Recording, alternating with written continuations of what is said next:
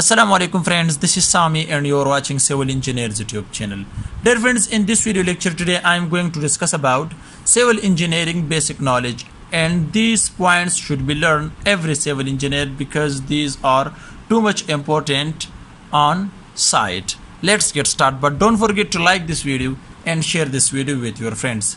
So the first one in building work parapet wall height should be 1 meter it should be not less than 1 meter meter okay?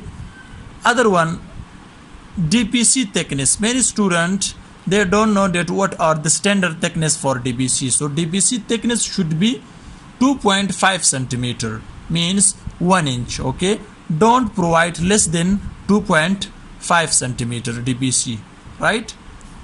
Third building height should be 315 centimeter means 3.1.3.15 uh, meter. And the fourth one riser height. And staircase riser height should be 15 centimeter which is is equal 6 inches. Okay? These are the too much important some basic knowledge. Okay? Fifth window height should be 120 centimeter which is or 1.2 meter Six one, one bag cement volume is 1.25 CFT or 0.347 cubic meter and cubic meter we have 0.347 and and CFT 1.25 volume of one bag cement. Seventh, one bag of cement weight is 50 kg.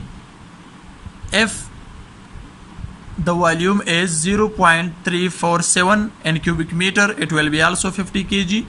Weight of cement or if the volume is 1.25 CFT because this is in cubic meter and this is in CFT for both uh, for both weight of cement is 50 kg. Right? 8 number weight of first class brick first class brick weight is 3. 85 kg. Ninth, 1 cubic meter water weight is 1000 kg. Because and 1 cubic meter we have 1 1000 liters. And 1 liter weight is 1 liter of water weight is 1 kg. So in 1 cubic meter we know that density of water is 1000 liters. So 1 liter weight is 1 kg. Keep in your mind this point okay? Other. Hook's length and stirrup should be 90 what is hook's length? So this is stirrup. So when we provide steels here so this is called stirrup.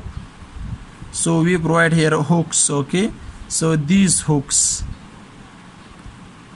at length should be 9d d. Is a dia of stirrup which we use in column. Okay dia of stirrup not dia of longitudinal bars. Right? Minimum thickness of the slab is 125 mm. Minimum right?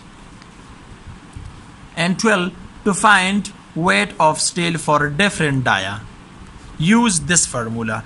D square divided by 162 it's normal which can give us the weight of steel in kg per meter. And for every kind of dia we can use this formula. But remember that the dia should be in mm.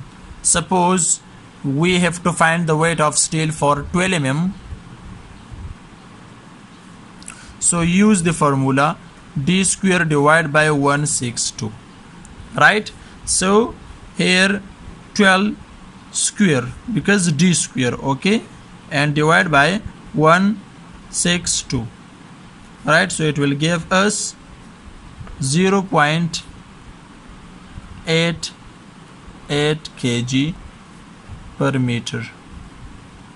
So these are the some useful basic knowledge for civil engineers. So don't forget to like this video and share this video with your friends. Thanks for watching. See you in next video. Bye bye